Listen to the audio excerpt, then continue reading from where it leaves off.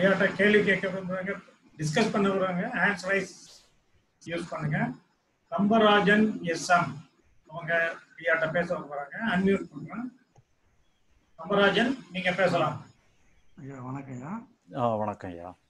ஐயா com piece silence அதே மாதிரி ரீடிங் ஸ்டடியிங் லேர்னிங் இது நம்ம ஞானத்துல எப்படியா பார்க்க மூணு வித்தியாசமா உள்ளதா இல்ல அது எப்படிங்கிறத கொஞ்சம் விளக்கம் இல்ல நீங்க சொல்ல இந்த டெர்மினாலஜி எல்லாம் நான் இன்னும் நான் எனக்குள்ளே போட்டு ப்ளே பண்ணி ஒர்க் அவுட் பண்ணி அது என்ன ஒவ்வொன்றும் என்னென்ன மீனிங்னு சொல்லி நானா கண்டுபிடிச்சா தான் விளக்கம் சொல்ல முடியும்.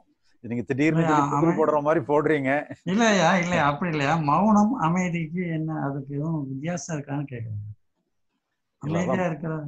அதாவது ரொம்ப போட்டு நம்ம கன்ஃபியூஸ் பண்ணிட்டு இருக்க வேண்டாம். இப்ப மொத்தத்துல மௌனமும் அமைதியும் எல்லாமே ஒண்ணுன்னுட்டே வச்சுக்கிடுங்களேன். இப்ப நமக்கு என்ன கெட்டு போச்சுது? நம்ம ப்ராக்டிக்கல் அப்ளிகேஷன்ல அது எப்படி வருதோ அதை நம்ம எடுத்துக்க வேண்டியதுதான். மௌனமா இருந்தாலும் சரி அமைதியா இருந்தாலும் சரி ரெண்டுமே ஒண்ணுன்னுட்டே போயிருங்களேன். சரிங்க சரிங்க. அதான் வந்து செயல்படுத்துறதுல உங்களுக்கு எந்த நேரத்துல என்ன பண்ணணுங்கிறத பாத்துக்கிடுங்க. இப்போ நம்ம வந்து நம்ம எதுல நம்ம அமைதியா இருக்கணும்னு சொன்னா மனசு வந்து கொந்தளிக்குது. சில நேரங்கள்ல மகிழ்ச்சியா இருக்கு. இப்போ நான் மகிழ்ச்சியா இருந்தா நான் நல்லா இருப்பேன். மனசு கொந்தளிச்சுக்கிட்டு இருந்தா நான் அமைதி இல்லாம இருப்பேன்னுட்டு சொல்லி ஒரு முடிவு கூட வச்சுட்டு இருக்க கூடாது. மனது எப்படி வேணாலும் அதனுடைய இயல்புப்படி என்ன வேணாலும் இருக்கத்தான் செய்யும். மகிழ்ச்சியான சூழ்நிலையில மகிழ்ச்சியா இருக்கும்.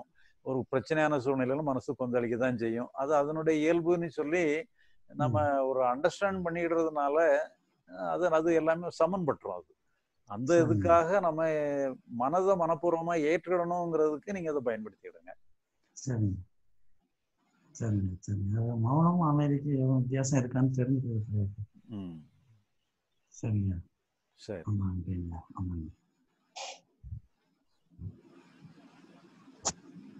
ஸோ நன்றி கம்பராஜன் ஓகே. ஐயா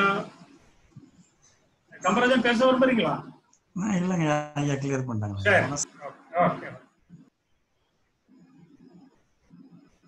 ராஜேஷ் வளசரவாக்கம் அவங்க பேச விரும்புறாங்க அன்மியூட் பண்றேன்.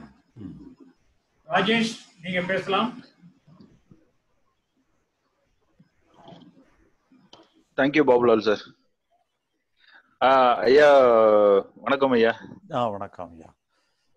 ஐயா நேத்தி உங்ககிட்ட பேசிட்டு இருந்தாங்களே ஐயா வாசுகி மேடம் இலங்கையில அவங்க அவங்களோட அவங்க பேசும்போது நான் அங்க இல்ல இந்த தியேட்டர்ல. ரெண்டாவது பேசும்போது முதல்ல பேசும்போது இருந்தான். ரெண்டாவது. பேசும்போது நான் இல்லை. அவங்க. ஆமா ஐயா ரெண்டாவது நீங்க பேசும்போது இல்ல. ஜீவமணி ஐயாவும் சரவணன் ஐயாவும் இருந்தாங்க. அப்ப அவங்களோட எக்ஸ்பீரியன்ஸை வந்து அவங்க ஷேர் பண்ணிக்கிட்டாங்க ஐயா ரொம்ப ரொம்ப எங்களுக்கு எல்லாம் வந்து ரொம்ப உதவியா இருந்தது. அவங்க எல்லாருமே நம்ம நார்மலா ஃபர்ஸ்ட் டைம் ஒரு ஞானியை பார்க்கும்போது எல்லாருக்குள்ளயும் ஒரு தோற்றம் இருக்கும். ஒரு ஏதாவது ஒண்ணு கிடைக்கும் நமக்கு அப்படின்ற ஒரு பிம்பம்லாம் இருக்கும். அதெல்லாம் அந்த எதிர்பார்ப்புலாம் இல்லைங்க. நீங்களும் நிறைய தடவை சொல்லியிருக்கீங்க. ம். அத ஒரு நேரடி அனுபவப்பட்டவங்க சொல்லும்போது இன்னும் எங்களுக்கு மனப்பூர்வமா அந்த மனசு வந்து நூறு சதவீதம் அதை ஏத்துக்கிறதுக்குரிய பக்குவத்துக்கு வந்துருச்சுங்க அது. அது ரொம்ப நல்ல நிகழ்ச்சியா இருந்தது. எங்களுக்கு ரொம்ப நன்றிங்க அதுக்கு. ஐயா அப்புறம் ஒரு இது கேள்வி இல்லையா? இது வந்து ஒரு சின்ன ஒரு வினைவு. ஐயா இப்போ ஞானிகளுக்கும் கோபம் வரும்னு சொல்லியிருக்கீங்க. அப்ப அந்த இப்ப ரீசெண்டா உங்களுக்கு வந்து ஏதாவது கோபம் வந்து புறத்துல ஏதாவது நீங்க ரியாக்ட் பண்ணிருக்கீங்களா? அது எப்படி தெரிஞ்சுக்கலாங்கிறதுக்கு இன்னொன்னு ஏதாவது வந்திருக்கா உங்களுக்கு? அது எப்படி இருந்தது? அது ஏதாவது சொல்ல முடியுங்களா ஐயா? இப்போ அது யோசித்து பார்த்து தான் கண்டுபிடிக்கணும். இப்போதைக்கு நம்ம கோவப்படுற மாதிரி சம்பவங்கள் ஒன்றும் அதிகமாக வரல. ஏன்னா ஒரு சம்பவத்தை வச்சு தானே நம்ம கோவப்பட வேண்டியிருக்கும். அப்படியே அந்த ஆமா. மாதிரி கோபத்தை நம்மள கோபத்தை தூண்டுற மாதிரி சம்பவங்கள் ஒன்றும் ஏற்படலை.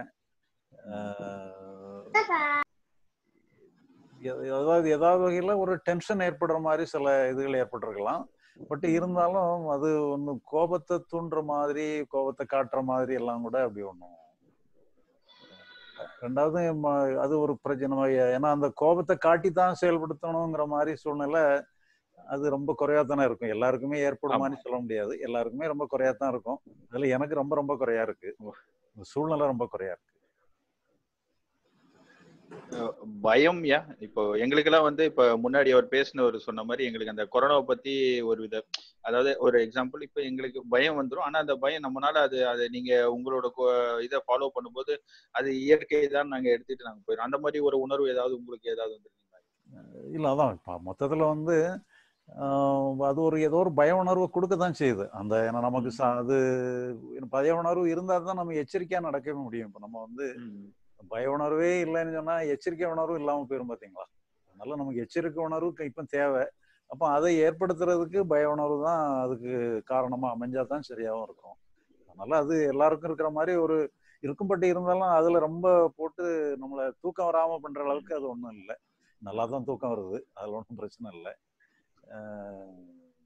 மொத்தத்தில் வந்து என்னன்னு சொல்லி சொன்னால் எல்லா உணர்வுகளும் அந்த சூழ்நிலையை இது பண்ணுறதுக்காக வர்றது தான் சூழ்நிலையை நம்ம நிர்வாகம் பண்ணணுங்கிறது அவசியம். இப்போ இதில் கொரோனாவை பொறுத்த அளவில் மற்ற இப்போ இப்போ நமக்கு வந்து ஒரு இன்னும் சரியான மருந்து கண்டுபிடிக்கலங்கிற ஒன்று தானே அதான் பிரச்சனை. மருந்து கண்டுபிடிச்சிட்டாங்கன்னு சொன்னால் இது பத்தில் பத்துல பதினோரு விஷயமா அப்படி ஈஸியாக மாறிடும் அது. இப்போ இது ஒரு மெயின் அம்சமாக இருக்கு. இதுதான் நம்பர் ஒன்னுங்கிற மாதிரி ஒரு அம்சத்தில் இருக்கு. அஹ், பத்துல பதினொன்னா மாறல அது. அந்த மாதிரி நான் மருந்து கண்டுபிடிக்கிற வரைக்கும் இந்த போராட்டம் இருக்கத்தான் செய்யும். அது எல்லாருக்குமே ஏற்படக்கூடிய நிகழ்வு தான். ஆமா ஆமா ஆமா ஆமா. இப்ப அதாவது மொத்தத்துல என்னன்னு சொல்லி சொன்னா இப்ப நாம புரிஞ்சுக்கிட வேண்டியது என்னன்னு சொல்லி சொன்னா எல்லா உணர்வுகளும் வரும் வந்துடத்தான் செய்து நமக்கு வந்து அது எதனுடைய அதனுடைய டோசேஜ் வந்து கூட இருக்கா குறையா இருக்கான்னுட்டுலாம் நம்ம மெஷர் பண்ண வேண்டிய அவசியம் இல்லை. எல்லாருமே இந்த சூழ்நிலையில இருந்தான்னு சொன்னா சராசரி மனிதனையும் நம்மளையும் நம்ம பிரிச்சு பார்க்க வேண்டிய அவசியமே இல்லை. எல்லாருக்கும் வரக்கூடிய உணர்வுகள் வரத்தான் செய்யும்.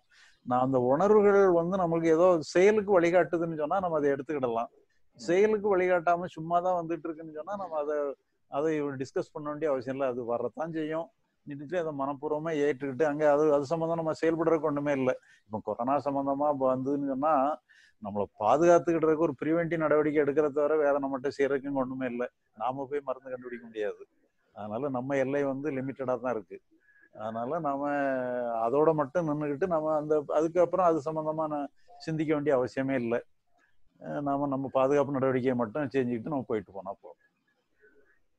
கண்டிப்பாங்க ஐயா. இது ஏற்கனவே நீங்க சொன்னதுதான் எங்களுக்கு திருப்பி எங்களுக்கு சொல்லும்போது ஒரு ஆணித்தரமா மனசுல இறங்குது. சரியா சரி. நன்றிங்க ஓகே. தேங்க்ஸ் ராஜேஷ்